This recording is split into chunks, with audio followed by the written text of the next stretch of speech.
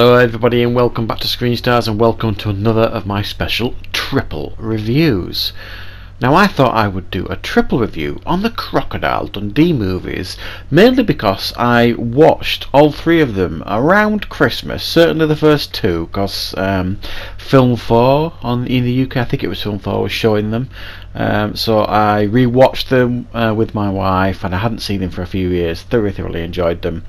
Um, and I realised I hadn't seen the third one, Crocodile Dundee in Los Angeles, for a long time as well, so I've just caught up with that one. So I thought I'd give you my thoughts on all three films. Certainly, the first one is an iconic classic film from the 80s. The second one's a worthy follow up, I would suggest, and many people certainly disregard the third Crocodile Dundee film, Crocodile Dundee in Los Angeles.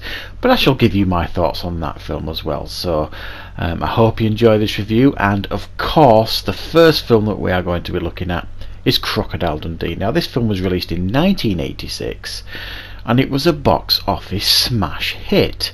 Now I went to the cinema to see this, uh, and I would have been about 13, 14 years old when this came out, um, and it was just such an entertaining film to watch, and it's a fish out of water story.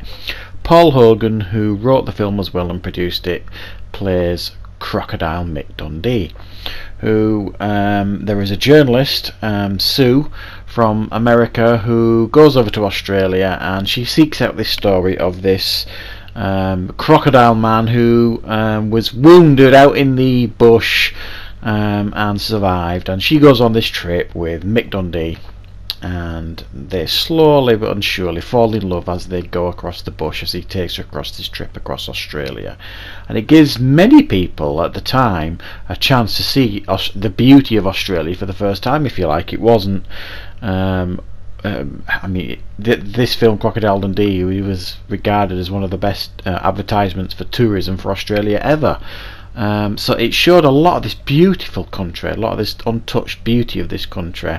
Um, and along the way, we get to know the, the this character Mick Dundee, who was uh, written brilliantly uh, by Paul Hogan. This character, um, this complete innocence about him. And also a very very comedic character. So they go on this adventure across Australia and then right at the end of it she invites him back to New York. She thinks it would be a perfect way to finish the story and Mick Dundee who might just be falling in love with her agrees. So there's a there's two parts to this story. There's the part in Australia, and then there's the part when they go over to New York, and it's a whole new adventure for Mick. It's a role reversal, um, whereas Sue had completely no idea what to expect in Australia. Mick has no idea what to expect in America and he is a complete fish out of water but he loves it at the same time all these new things to discover um, gets into all sorts of little scrapes um, and their love continues to blossom as the film progresses. So, an absolutely fantastic film, um, easily one of the most memorable from the 1980s. Um, it's it's it's one of those uh, cinema experiences that I remember very very clearly, and I don't remember being that excited to go and see it beforehand. But it's one of those that I went to see and just absolutely was buzzing uh, by the end of the film. It's it's got a great heart. This film. There's a great love story at the very core of it. It's very very cleverly written. Um, it's very very funny. Um, and it's a brilliant take on the fish out of water story. Um, I think it opened many people's eyes to Australia at the time.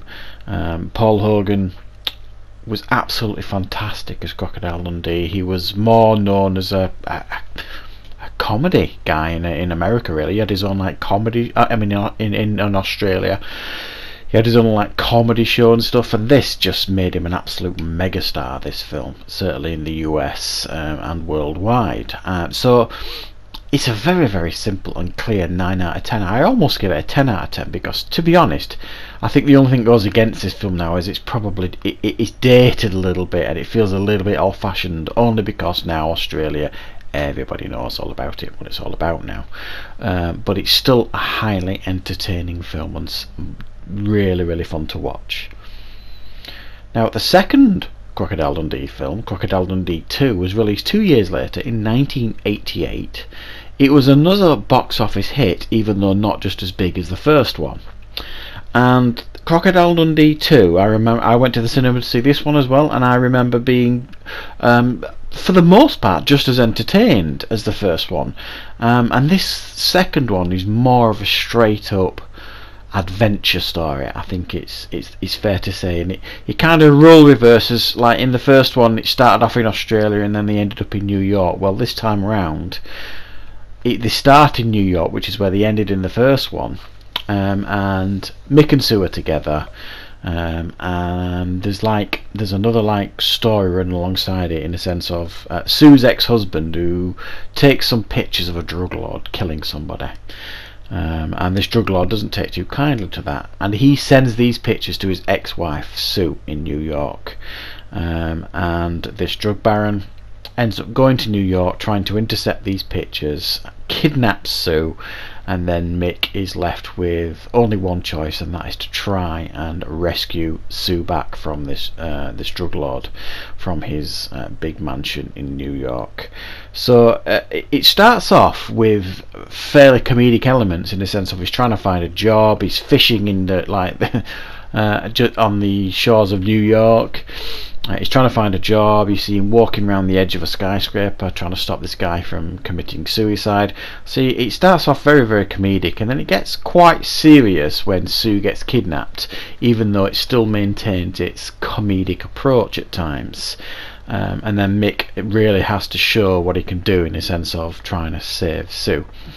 Um, and then the second half of this film um, takes it to Australia because when he gets Sue back from this drug baron, he um, there's an immediate attempt on on on her life. So uh, rather than put them into protective custody, uh, Mick Dundee suggests he takes her back to Australia where he knows he can protect her and keep her safe. So they end up going to Australia, um, do a little bit of a whistle stop tour, um, and then the drug baron ends up following them to Australia um, and trying to track them down and kill the pair of them. Um, it's it's like I say, it's a, more of a straight up adventure story this time around, but it still maintains its heart at the film. Um, and there's great chemistry between uh, Linda Kozlowski and Mick Dundee, who by this time were a real life couple. Uh, they kind of fell in love on on the set of the first film. Um, so by this point, was, the chemistry felt very, very real between them. Um, it was a, a, really well made film, and you got to see more of what Mick, Mick Dundee is capable of in a sense of, you know, uh, his tracking abilities and um, and all that kind of stuff. And it was, uh, I think, a worthy follow up to the first one. Um, and they, they, tweaked it ever so slightly to make it different, but it felt familiar at the same time. Um, so I'm going to give it an 8.5 out of 10. I thought it was an enjoyable sequel. Um, and I think it, it, did reasonably well at the box office. And even though some critics were overly keen on it at the time, I remember, I think it still stands up pretty well today.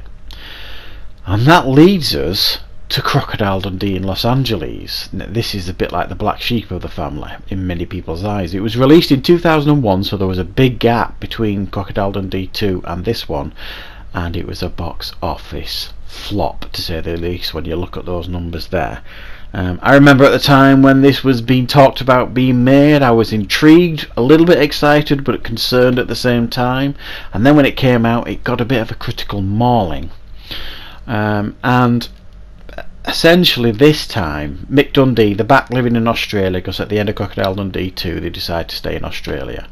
Uh, but they end up going to Los Angeles because Sue has follows up on like a story in Los Angeles, and essentially there's some corruption on like a film set on a film production company. Um, it seems it might be being run by criminals, uh, so she has to investigate, and Mick agrees to help by um, trying to get a job in like the the film crew, um, and they end up investigating this um, film companies, corruption, and things like that. Uh, and that's the essential core of this story. Now, the, the, there's a few differences here to this one.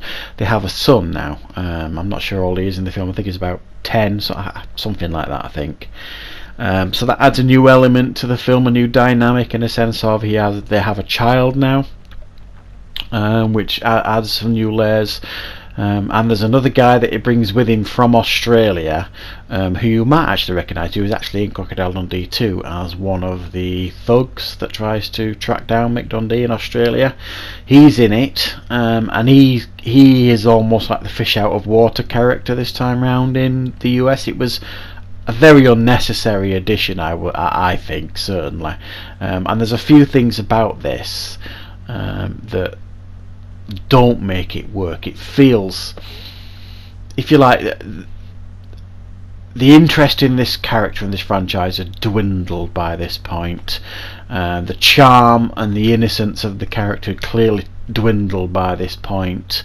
And even though I think um, certainly Paul Hogan tries his best in this one, um, I think that glint in his eye um, the charm of the character had certainly dwindled by this point. However, I don't think this is anywhere near as bad as some critics at the time and even some people would suggest now. It's obviously clearly the worst of the three, but there are elements of it that certainly make it watchable. There are some fun moments in it. Um, there's a nice scene between him and Mike Tyson, which is quite interesting, and there's a few other moments in it that um, reminds you of the charm of the first two, but ultimately is it it is a little bit of a letdown this one. So I've given it a 6.5 out of 10. Um, it's definitely the weakest of the three. So that's my thoughts, brief thoughts on all three of the Crocodile Dundee films. Have you seen all of them? Um, what are your thoughts on them? Let me know in the comments and I hope you found this triple review interesting, fun and useful. So thank you very much for watching everybody.